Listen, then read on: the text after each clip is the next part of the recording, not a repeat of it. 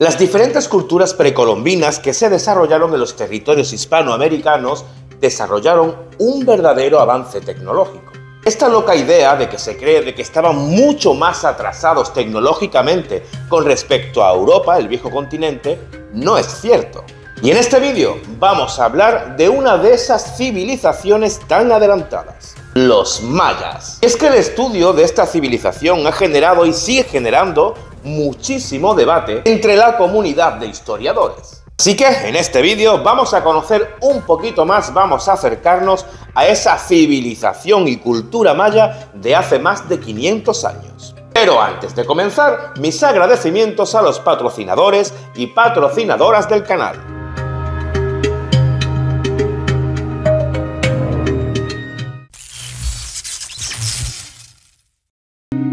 La sociedad maya, una de las más destacadas civilizaciones precolombinas de América, floreció en lo que hoy conocemos como México, Guatemala, Belice, Honduras y El Salvador.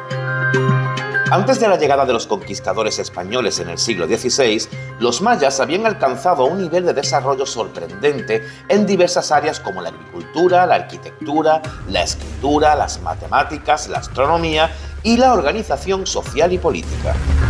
La sociedad maya, al igual que otras culturas mesoamericanas, se desarrolló en un entorno geográfico variado que permitió una amplia diversidad de recursos naturales.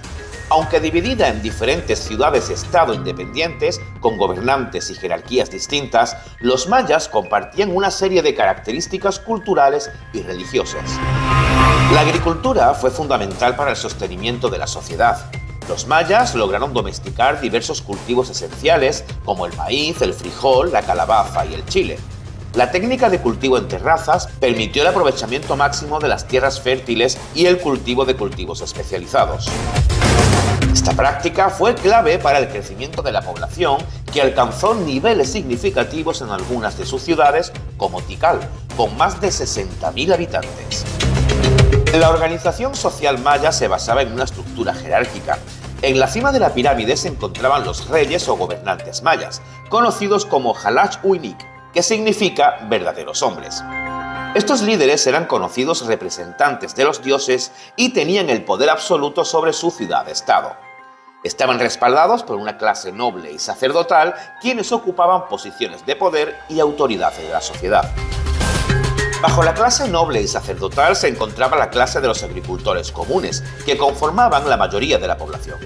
Estos mayas se dedicaban a la agricultura y a la producción de bienes básicos para la subsistencia. Vivían en pequeñas aldeas y tenían un acceso limitado a los recursos, ya que gran parte de la producción estaba destinada al consumo de la élite gobernante.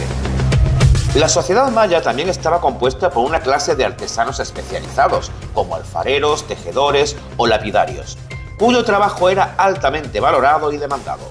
Su habilidad para crear obras de arte y objetos de lujo, como vasijas de cerámica decoradas, joyas de jade y figurillas de barro, muestra el alto nivel de desarrollo artístico que alcanzaron los mayas.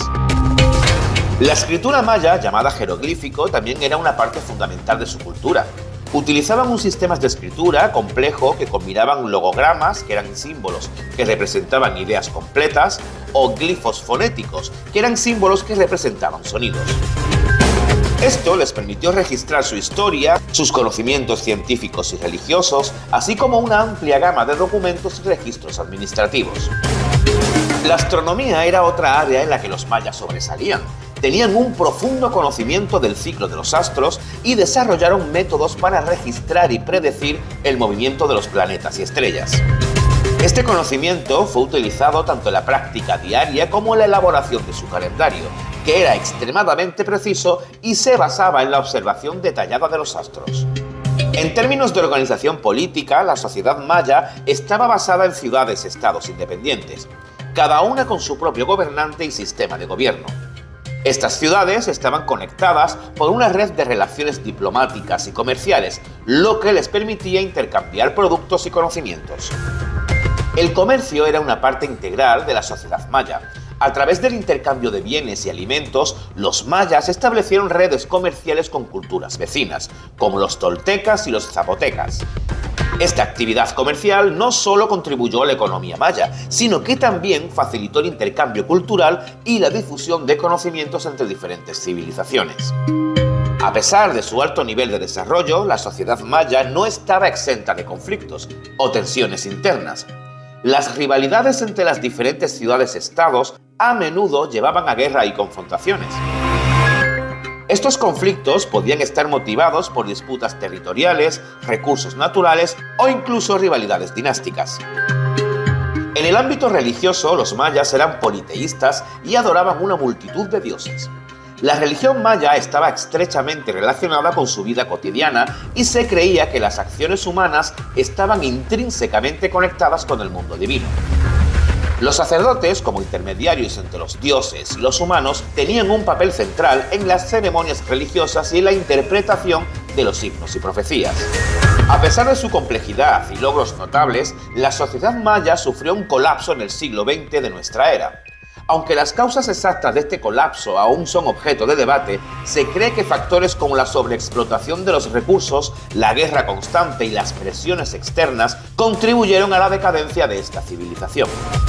En conclusión, la sociedad maya antes de la conquista de América se caracterizaba por su sofisticación en áreas como la agricultura, la arquitectura, la escritura, las matemáticas y la astronomía. Su organización social y política estaba basada en una estructura jerárquica con una clase gobernante poderosa y una mayoría agricultora que sustentaba la economía. Y hasta aquí el vídeo. Si te ha gustado, regálame un like. Si te gusta mi contenido, suscríbete al canal y no te olvides darle a la campanita para que YouTube te avise cada vez que subo un nuevo vídeo.